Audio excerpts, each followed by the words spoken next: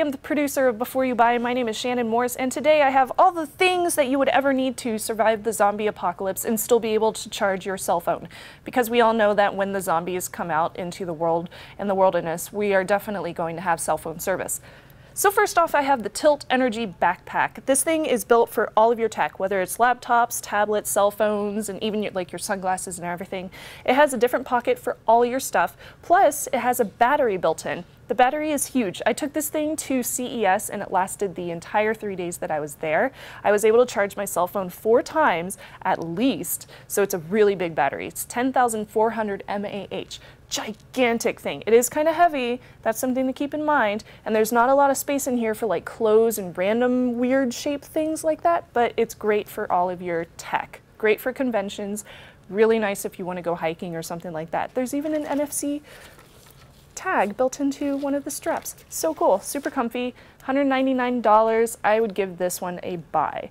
Next off, we have the 180S Bluetooth ear warmers. Yeah, these look really funny but they are actually very warm, they're very comfortable, and they're really nice. It is adjustable, although it is a little bit too big for my head. It kind of fell down the back of my head, but it does sound really great. Really nice call quality, it's very clear, and really nice bass whenever you're listening to like Lorde Royals or whatever you have and it lasts about eight hours on a full charge. There is a little built-in charging cable so you can plug that in and charge it whenever it gets down low on the battery and there's a little LED light to let you know whenever it's getting down low.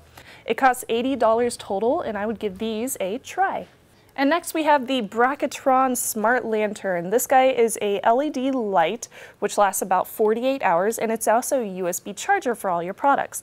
It has a 7800 mAh battery built in and it will last you about two charges uh, once you get this full up on its battery. Now bad thing about charging this is the micro USB port on this is kind of loose. So every time I had to plug it in and charge it, I had to hold it there to make sure that it would get a full charge. It does let you know with four LEDs on the back how far the charge has gone. It costs a whole total of $79.95 and I did notice even though on the packaging it says fireproof, it's not really that fireproof. We did kind of light it on fire. So this is a don't buy. And then we have three very pretty battery packs. First off, we have the Digital Treasures Charge It battery pack. Has four ports on the inside of it and a 3600 mAh battery, which will charge everything one to two charges maximum. It has really obvious charge LEDs so you can tell how, how much a per percentage you have left. It's a very small size, which is really nice. It does take a long time to charge though, and eventually some of these charging cables are going to become obsolete. So I would much rather just have one USB port or two USB ports and be good with it. At a cost of 50 bucks, I gotta give this one a don't buy. And then we have the Powerocks Power Bank Super Magic Stick.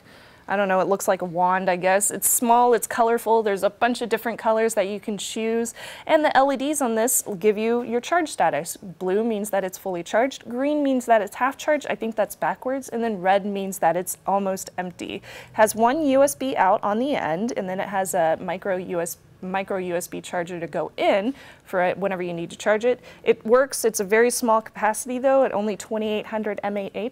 Uh, this one I would also say don't buy. It's also 50 bucks, so you get two small ones, both $50. And the last one I have is the RAVPower Dynamo on the Go power bank. That's a really long name, RAVPower. This one is a 7800 mAh battery. It's really nice and big. It uh, lasts about two charges. You can actually get this online for 20 bucks now. Yeah, they have upgraded to an 8400 mAh and also a 10,400 mAh battery as well. So both of those are huge. You might want to consider one of those too. But it has two USB outs. It's very small, very simple, and it comes with a little bag to carry it in. Yay, it's a buy.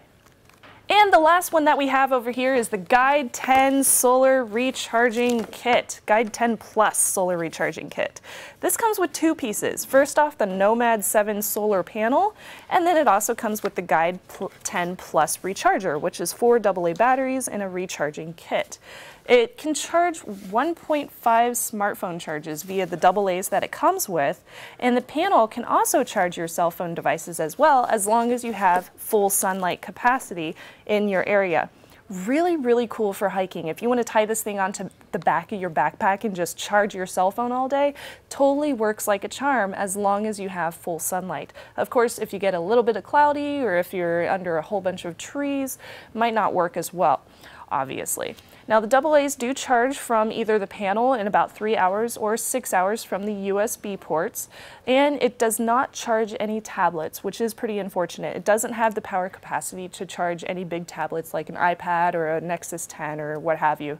So I really like this. I think it's very cool. It's built, it's high quality, it's useful, and I love that I have something that I don't have to plug in to recharge every time I need to use it. it you just stick it in the sun. So as, as long as the zombies haven't taken over the sun, I think we're good.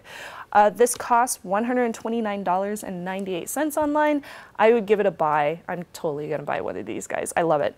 So these are the products that you would need to survive your own zombie apocalypse good luck out there. I would suggest also getting a samurai sword or something similar to that, just in case one of those zombies gets nearby you. But for the most part, hide in the trees and you should be good and keep charging your cell phone and listen to your music. I'm Shannon Morris again, and this is my zombie apocalypse bag. I'm gonna go fight some zombies.